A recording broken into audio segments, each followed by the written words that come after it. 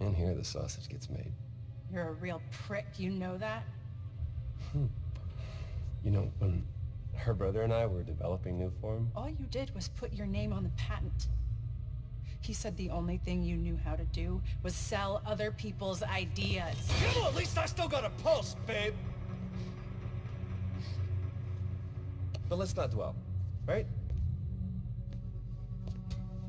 The first thing we're gonna do is I'm gonna... wow! that is awesome. Are those involuntary defenses? Oh man, that's hot. You see, I'm gonna get that mask off you. And I'm gonna find out what makes you tick. Because you just